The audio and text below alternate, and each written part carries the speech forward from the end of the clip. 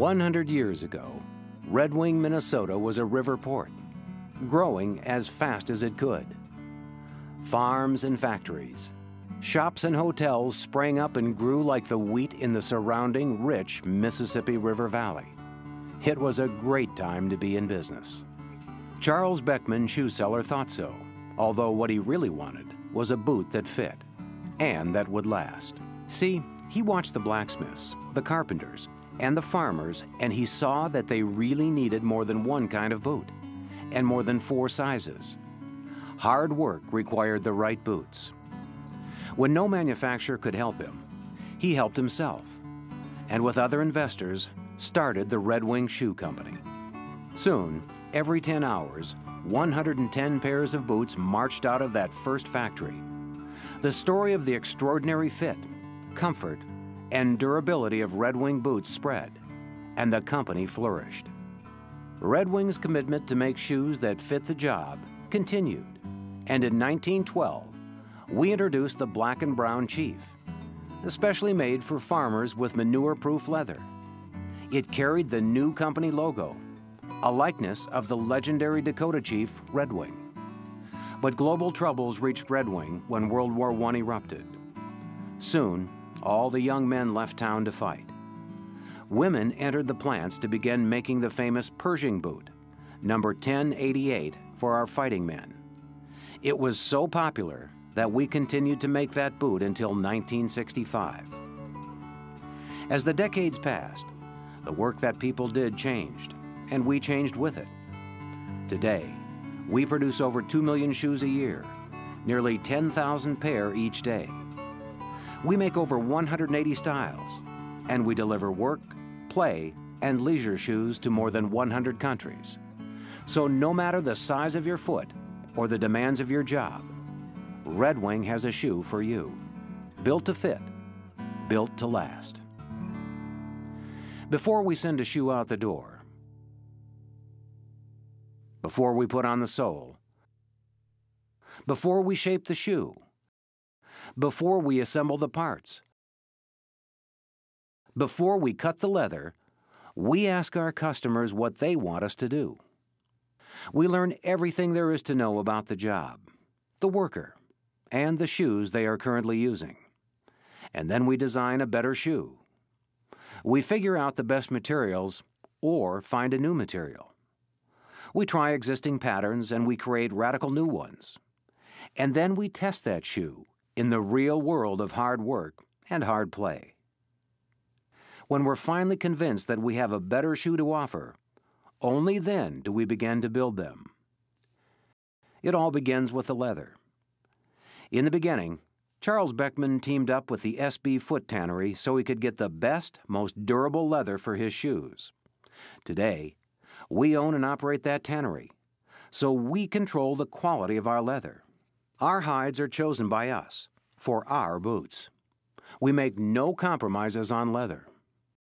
Every year, 140,000 full hides, plus tons of hooks and eyelets, plus 3,281 miles of laces, plus 250,000 gallons of liquid soles are brought together by the good people in our raw materials warehouse. They help keep the factories running.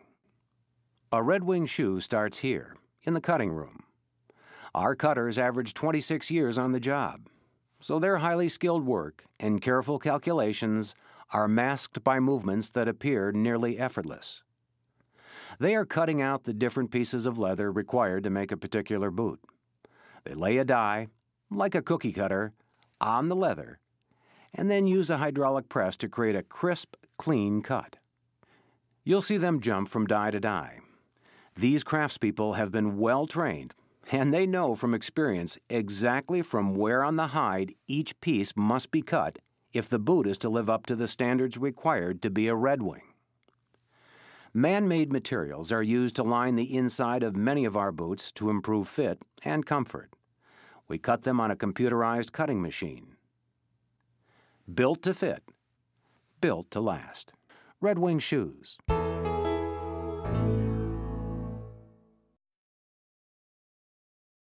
Welcome to the fitting room, where naturally enough, we are fitting together the pieces the cutters created.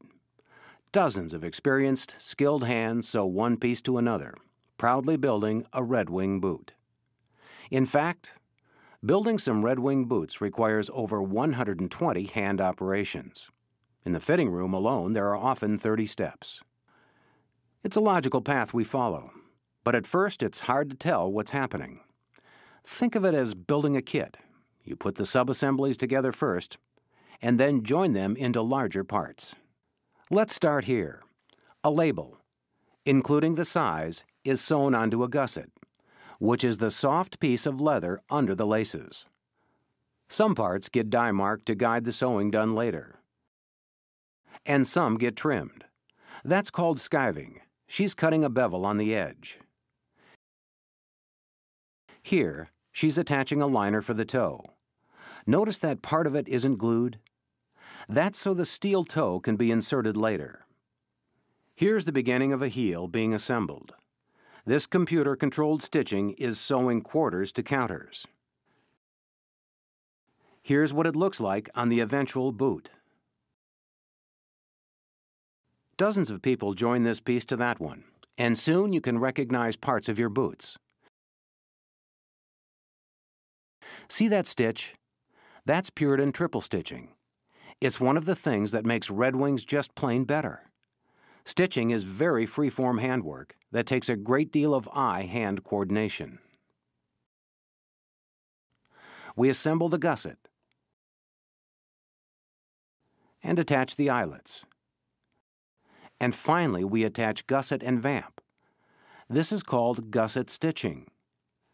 And then your Red Wing is ready for lasting, the next department. Built to fit.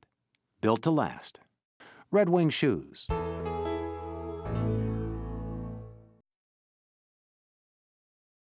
This is the lasting department, where we fit the shoes to your feet. But your feet are busy, so we use last to stand in for you. Our lasts are made to be the same shape as your foot, so we have over 30 styles in hundreds of sizes. They are made of a very dense plastic, so we can use them many times over before they have to be replaced. We begin with an insole, the foundation of a Red Wing. When we're done, the insole will keep the rest of the components working together, maintaining the boot's shape and comfort. Here, you can see the insole. Below the insole, we'll create stability, cushioning, and wear resistance. From the insole up, you'll experience comfort and stability a shoe working with the shape of your foot. Some insoles get hand cut, a lot like we cut the leather, while others get cut by computerized equipment. She's applying a layer of cement. We let that dry for a bit and send it along so we can attach the ply rib. We'll connect the rest of the boot to this rib just a bit later. These are the hands of Red Wing shoes, the hands of true craftspeople, fast, strong, skillful hands with no wasted motion. First, we temporarily tack the insole to the last. Then we insert a counter, a stiffener between two layers of the heel, and tack the whole boot to the last, again, temporarily. This is four-part lasting. Here, the front of the shoe, the vamp, is softened by heat and stretched over the last. The toe, the most noticeable part of your boot, is formed. But sometimes they pull the leather back, and what you see is the liner. That's because they're going to insert a steel toe between the leather and liner. But first we trim off some excess material. A little adhesive. A quick tap or two, and the steel toe is on. We add a strip to hide the steel edge because Red Wings must be strong and good looking. Now we pull the leather back over the toe and cement it in place. Automatic extruders shoot just the right amount of glue and clamps hold it in place until it dries. The next job is to pull the leather down tight on the last and staple the sides. We have to take out those temporary tacks. Give the heel a nice shape. This is called seat lasting. And cut off some excess material. and send the boot off to bottoming, the next step to becoming a Red Wing. Built to fit, built to last. Red Wing Shoes.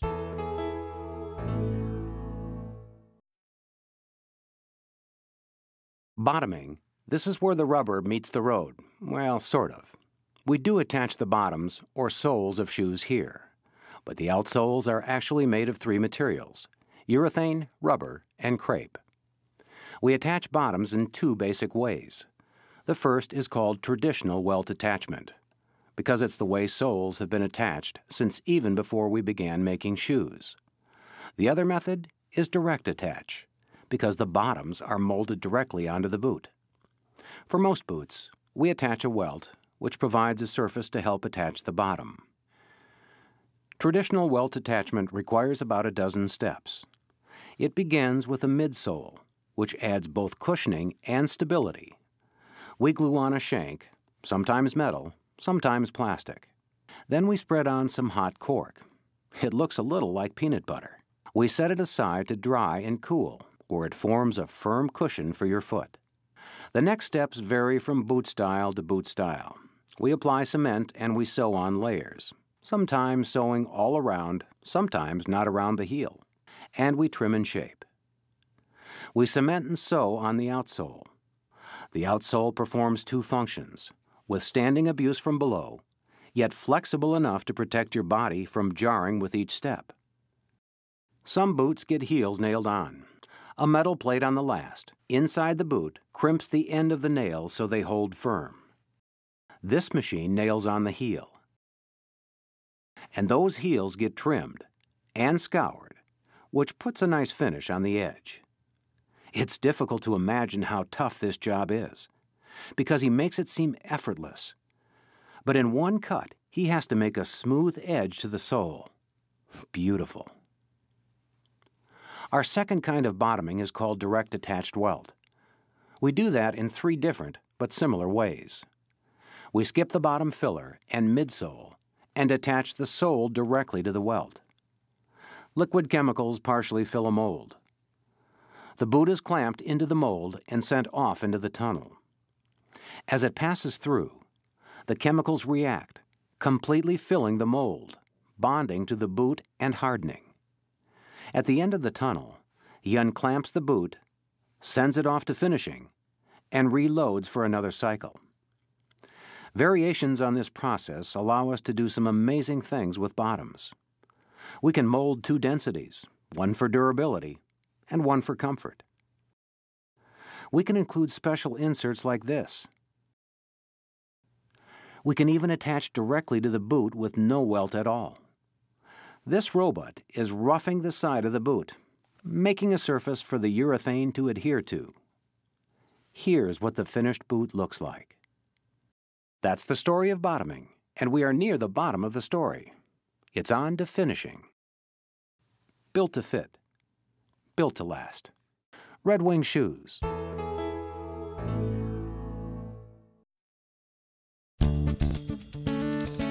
The final step for a Red Wing is finishing, and that's what we're doing.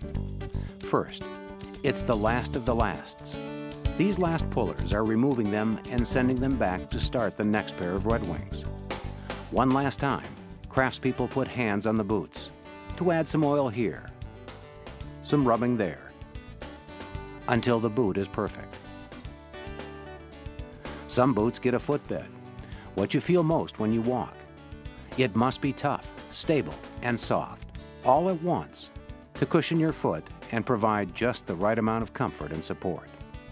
We use technically superior materials to ensure healthy walking day after day. Some boots need laces, of course. We go through miles and miles of laces. Boxes are prepared. Then each boot gets wrapped and boxed up for the trip out of the factory and into distribution. First stop is the warehouse, where you'll typically find 300,000 pairs of footwear. Every week, 50,000 pairs leave this warehouse, going to retailers in over 100 countries around the world. It is there, in a shoe store, that our story begins and ends. From our founder until today, Red Wing has always been about good fit. Our salespeople are specially trained to measure and fit your shoes, and they will carefully match your needs to the proper footwear, choosing from over 180 styles in 23 sizes and 10 widths. Well, I think that Red Wing always has prided itself on being the best work shoe and the best performing shoe in the market. We tend to use only the best materials that we can, and I like to think that the people that work here take their time to do the job right. We get letters from customers um, saying how wonderful the shoes are and, and um, like the steel toes, that they've saved somebody's toe from getting crushed. Very proud. Very proud that we still have an American-made shoe. Because let's face it, you got you got good shoes and happy feet, you're a happy person. Isn't that right? Our boots have helped build the world, from buildings and bridges to gardens and games.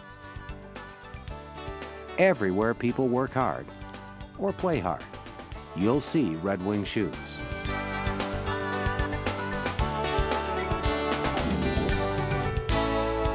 Built to fit, built to last.